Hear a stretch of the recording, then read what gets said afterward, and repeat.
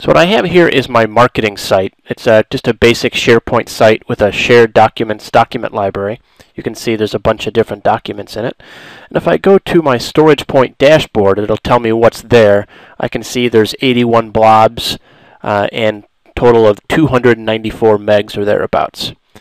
And these blobs are externalized to a file on my or directory on my C drive, we go there to my marketing folder, you can see there it is. Go to the properties and it's 287 megs. So what I want to show you is that in SQL, I can go and that content is in, or that site is based on this marketing database, and it is a total of 28 megs. So it, obviously the blobs aren't in there, and I can back that up and do my normal things. Uh, I've backed that up to my backup library here and there it is 24 megs. But that only gives me the content database with the blob references. But because uh, StoragePoint is using the standard RBS protocols or standard RBS provider interfaces then any API you use within SharePoint is going to pull those blobs through.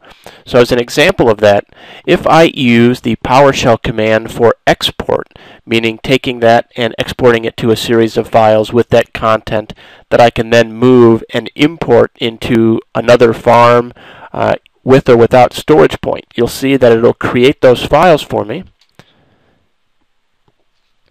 And once done, the total number of files, you'll see based on their size that it isn't just a database backup. Now that that's complete, if we go to that directory and go to export, and we'll see, there it is. If we go, we see 251 megs. There's probably some compression and all that kind of stuff in there. But the same is true if we did a backup. So if we do a backup SP site,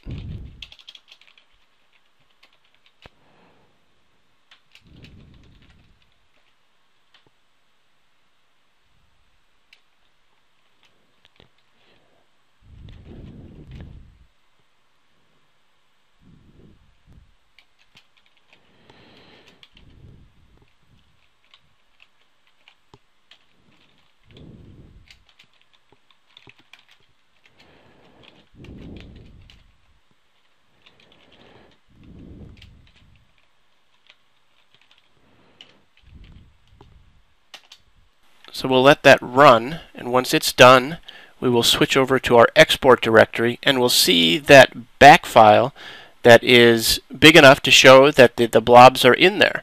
So what does this show us? It shows that StoragePoint uses uh, the normal supported API so that it doesn't break anything in SharePoint. Backup restores that use the normal APIs, like I showed in those PowerShell commands, uh, those are going to pull those blob through and allow you to have a full fidelity backup if that's the way you want to do it.